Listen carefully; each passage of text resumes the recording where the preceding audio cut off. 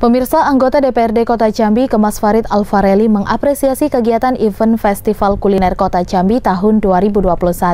Dirinya juga mengatakan kegiatan ini merupakan langkah dan terobosan pemerintah kota yang sangat didukung oleh DPRD Kota Jambi.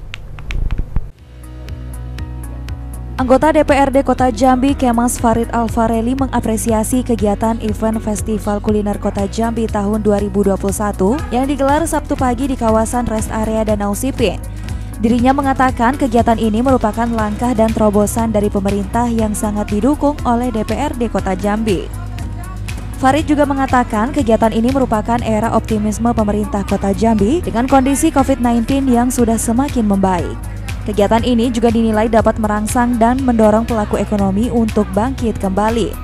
Dirinya juga turut mengapresiasi berbagai kreasi masakan yang ditampilkan dari tiap kecamatan yang dinilainya sudah menyaingi masakan-masakan modern di hotel-hotel bintang 5 atau setara internasional. Dirinya juga berharap Kota Jambi akan berani dan mampu menyajikan makan di masa pandemi.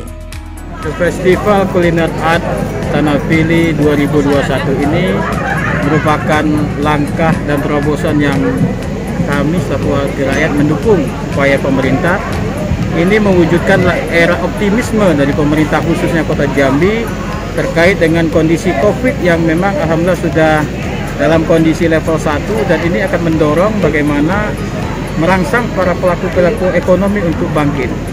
Kita lihat tadi inovasi dari tiap kecamatan yang disajikan melalui makanan-makanan khas tradisional dan secara pribadi saya cukup kagum bahwa ini sudah menyaingi makanan hotel bintang 5 skala internasional.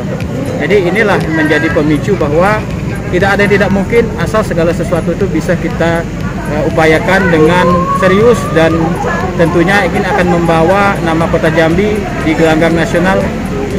Mudah-mudahan Kota Jambi merupakan kota yang berani mensajikan makanan di saat pandemi. Lilis Karlina, Jack TV, melaporkan.